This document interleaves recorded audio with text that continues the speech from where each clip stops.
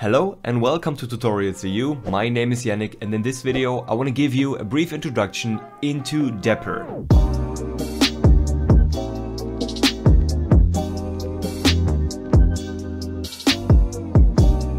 Dapper is a micro-object relational mapper that allows you to easily execute SQL queries to fetch data, create data and update data from within your .NET applications. So let's get started right away.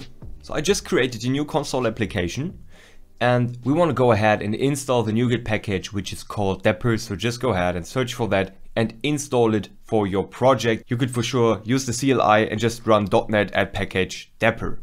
Awesome. So now I want to show you my database. It is right here and we have one table which is called employees and each employee consists of a primary key, which is an integer, an ID, a name, an age, and a salary, right? So in comparison to our entity framework, which we also use a lot in, let's say, ASP.NET Core applications, Dapper is way more lightweight. So we don't have a code first workflow, for example, and no auto-implemented migration system. So if you want to use Dapper, you have your database already set up, created it manually, you fold out the structure using default SQL queries. If you are already using Dapper and you're experiencing slow performance when saving multiple rows, Dapper Plus is the solution you have been looking for. Now with high performance bulk operations, this NuGet package can improve your performance dramatically. And the best part is, you don't have to write any SQL at all.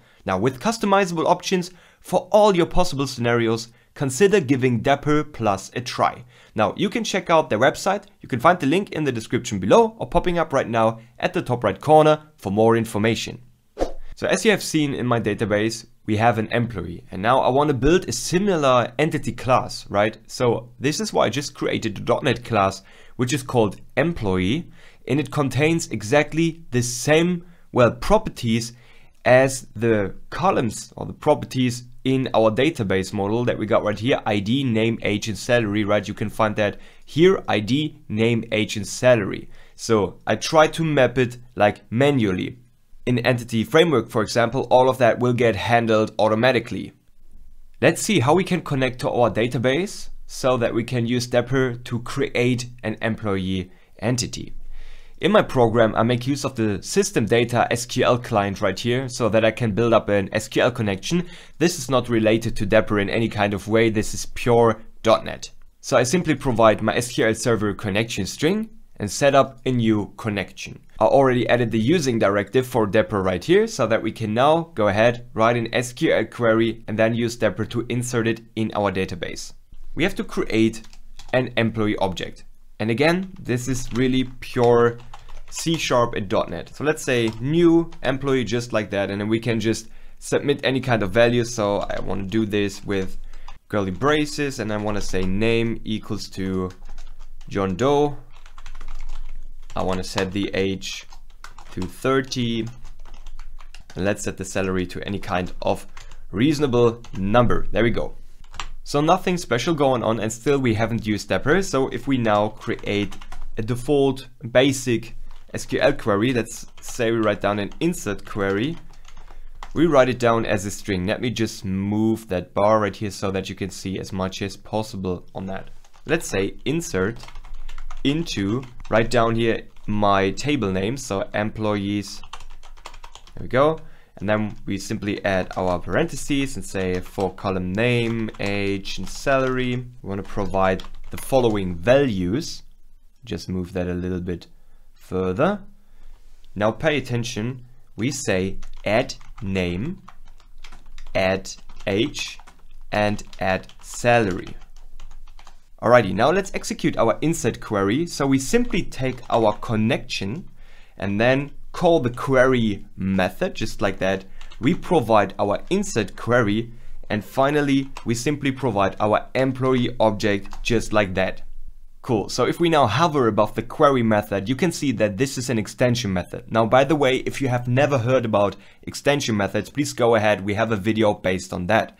Now, this extension method, which is called query right here, which is simply executing the SQL query and providing the, well, object that we have created right here to fill in the values, I will get to that just in a second, that query method gets provided by Dapper as an extension method.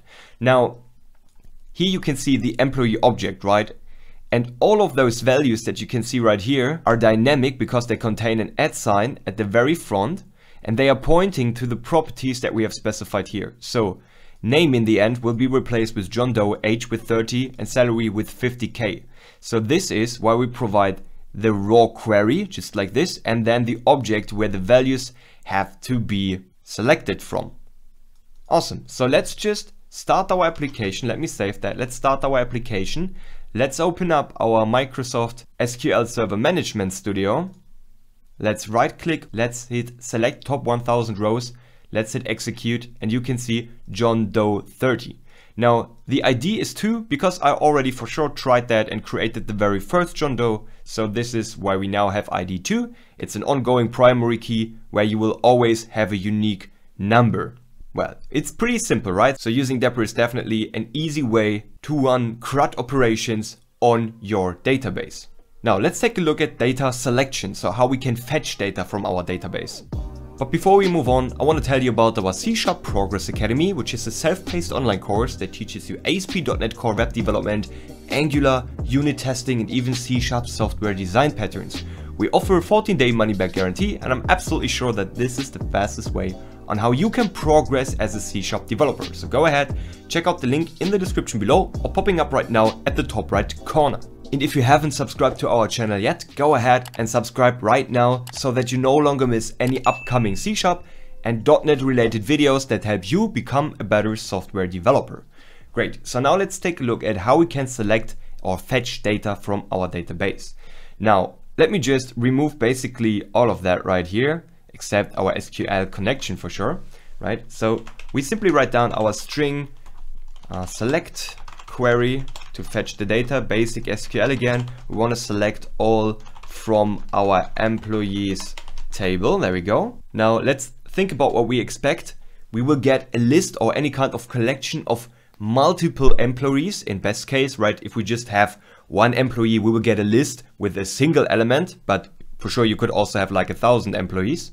So let's create a list of type employee because that's what we are expecting, right? Let's call it employees and it's actually, we take the connection, execute the query extension method again, and this time we have to specify the type, which is employee again. Now we put in our select query and simply call the toList method in the end. You could also take like to array or whatever you like for sure. But the important part is that we execute the query extension method and we have to specify the type, right? So this is where .NET and Dapper comes in again. And now finally, we can simply, well, we can simply set a breakpoint to make it very easy. Now let's hit start. Let's run our application. Let's see if our breakpoint is stopping the application. There we go. Let's hover above employees and you can see count one and you can see John Doe ID 2H30. So we basically fetched the data and Dapper converted it into a list of our C .NET type employee. Well, and this is what this Dapper micro object relational mapper is doing. Now for sure it can do a lot more, but this was just a basic introduction into the world of Dapper. So I hope that you've enjoyed this video and if you did, go ahead, give it a thumb up, for sure subscribe to our channel and if you want to learn more about C Sharp and .NET, check out our C Sharp Progress Academy. So Thanks for watching and I'll see you back in the next video, so have a good one.